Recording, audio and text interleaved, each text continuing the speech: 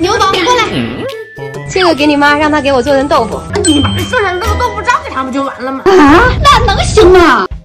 幸亏还留着豆渣，再添点我家腊肠、香菇之类的，给人家做成豆渣丸子吧，做好一点，希望人家能满意。哎，这么调出来的丸子还挺香的。做豆渣丸子的灵感来自章鱼小丸子，同样把表面煎成脆脆的，这比炸的口感更好吃，也更好看。最后啊，撒一半烧烤料，一半小丸子料，来一个双拼，好像穿起来也不错。这创意好像很适合去摆个摊儿啊。口感嘛，外脆里嫩，好好吃啊！我想这下邻居应该能满意吧。现在赶紧装起来，等人家来取吧。